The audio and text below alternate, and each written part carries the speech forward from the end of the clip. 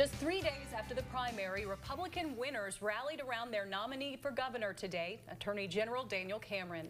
The group is looking to present a united front as they attempt to unseat the lone Democrat serving in a statewide office, Governor Andy Beshear. Josh Short reports.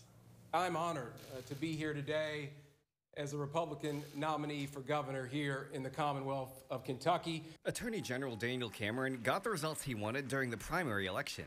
Now he's looking forward to the fall and talking about what he says qualifies him to lead the state. I want to remind people that as Attorney General, we are in the process of bringing nearly $900 million into the state because uh, we are holding accountable those companies, as you know, uh, that help exacerbate the crisis here in Kentucky.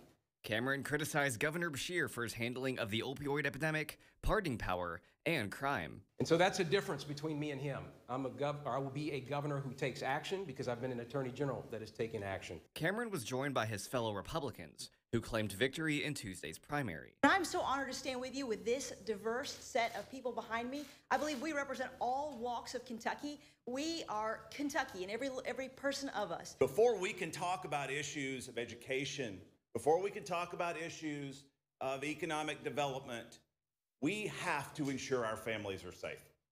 And these are unsettling times, friends, unsettling times.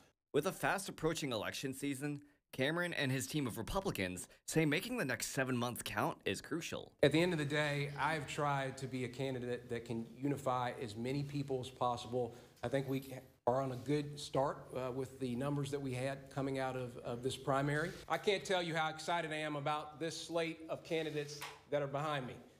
And we are going to make sure that we maintain these statewide offices in Republican hands, and we're going to reclaim the governor's office. In Frankfort, Josh Short, Fox 56 News.